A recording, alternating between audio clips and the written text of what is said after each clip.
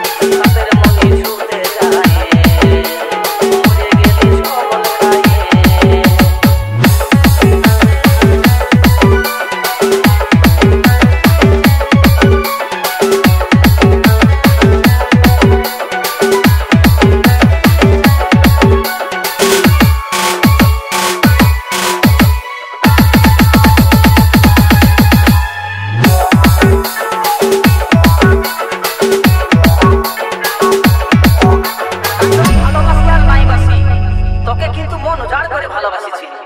মনে মনে ভাবিয়েছিলি জীবনে হয়তো একটা কাছের মানুষ পালি।